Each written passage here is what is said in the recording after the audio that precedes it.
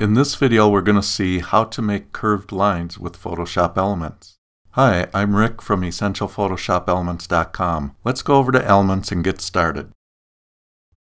I'm using Photoshop Elements 12 for this video, but it'll work in other versions as well. The first thing you should know is that Photoshop Elements doesn't really have a tool specifically for drawing curved lines. About the best you can do is use the brush tool and you know you can draw curved lines but they may not be as smooth as you like so I want to show you a few tricks that you can use to make smoother curved lines in Elements. I'm going to undo this. I have a plain white document, but you can do this technique on a regular photo. One way to get smooth curved lines is to use the elliptical marquee tool. Let's go through it step by step. Step one is to create a new layer in the layers panel. If you don't see the layers panel over on the right side of your screen, go up to the window menu, just click on layers. And to create a new layer, you just click on the create a new layer icon. Some versions of Elements, those icons, instead of being at the top of the layers panel, you might find them at the bottom of the layers panel. Just look for the icon that looks like that sheet of paper and click on it and you can see it adds a new layer above our background layer called layer 1 and that's the layer that we're going to be drawing our curved lines on. Step 2 is to draw a round selection. And we need to make the elliptical marquee tool the active tool and you'll find it over here in the toolbox. If you don't see it over here you might see the rectangular marquee tool which looks like this. Just go ahead and click on the rectangular marquee tool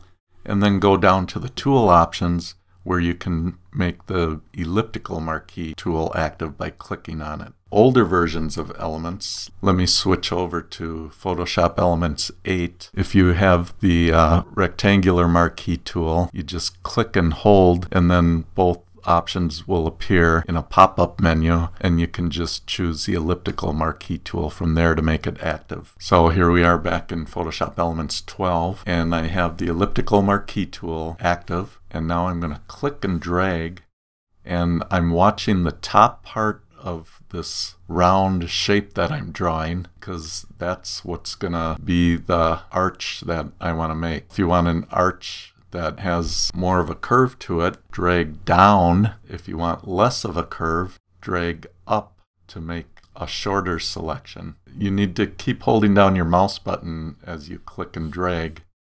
And as long as you do that, you can keep drawing out the shape of your ellipse. But as soon as you let go, which I'll do right now, you might get this kind of weird looking thing like I have with double lines. That's just a redraw issue. It'll straighten out as we go along here. If you let go and you're not happy with the shape of your arch, you can go up to the select menu and choose transform selection. You'll get this bounding box around your selection. And now you can click and drag on any of these eight handles that are around the bounding box to resize your ellipse if you want. And if you put your cursor in the inside of the bounding box, you can click and drag and you can move it around. Once you have it the way you think you want it, click the green check mark to commit to it.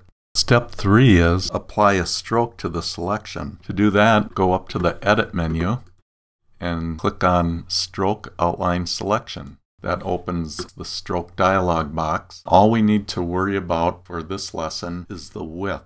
Yours might be at a different setting. Mine is already at 6 pixels because I was doing this earlier. You can make it any width you want. Click OK. Now I see that stroke is around my selection line.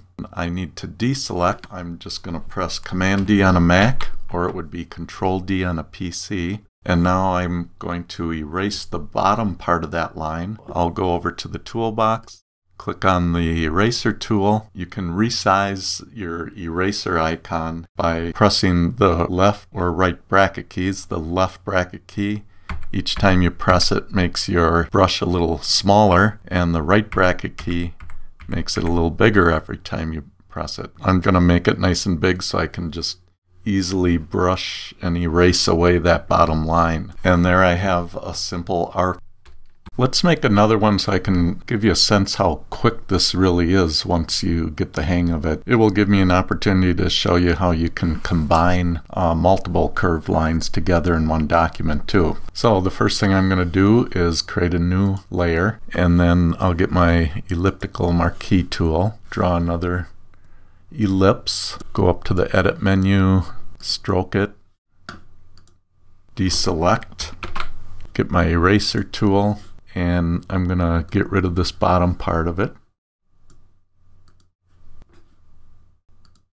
And now you can see how really quick that is once you have the steps down. It's just four easy steps. So that's the basic idea of how you can create a curved line. Uh, let's try doing a little more complex line. I'm going to select both of these new layers that we created and then I'll hold down the option key on a Mac or it would be the alt key on a PC as I click on the trash can and that will delete those two layers. And now I'm going to create a new layer. I'm going to get my brush tool.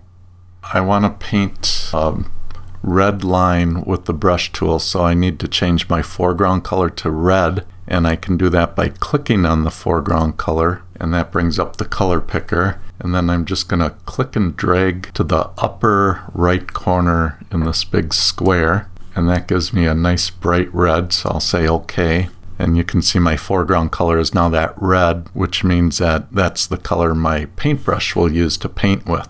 And I want to do more of a squiggly line this time so I'm going to start at the top here and I want to do something like that I'm just going to use that red line as a guide for when I make my elliptical selections. I'll create a new layer, get my elliptical marquee tool active, and I'm going to change my foreground color back to black.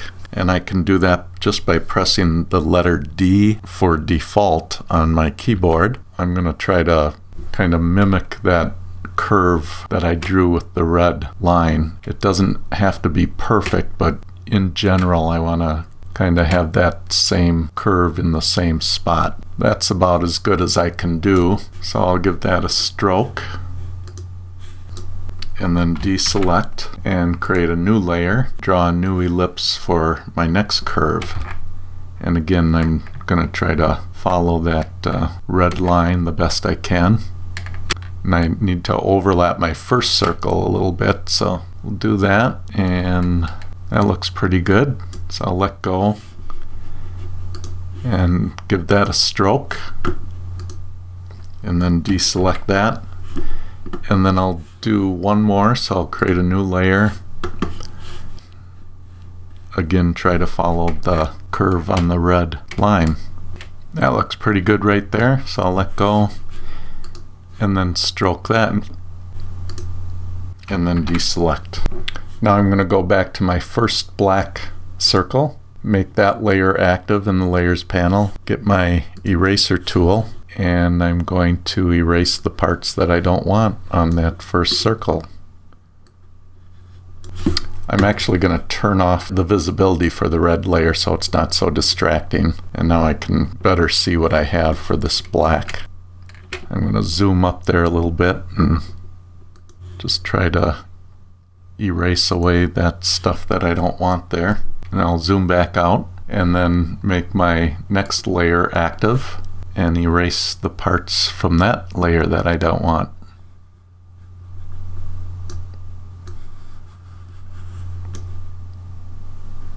I'm going to zoom in here.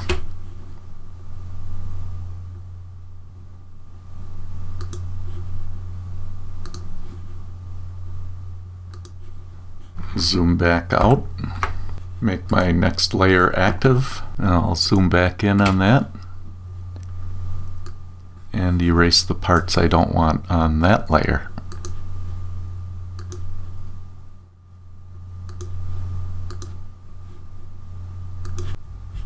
And that's pretty good. I'll zoom back out. And there you have it. So, you know, you can kind of put together pieces like that to get curved lines. There's a couple other tricks you can use to get curved lines with elements, but I don't want this video to get too long, so I think I'm going to wrap this one up and uh, we'll have to do another part uh, maybe next week. So until next time, this is Rick saying take care.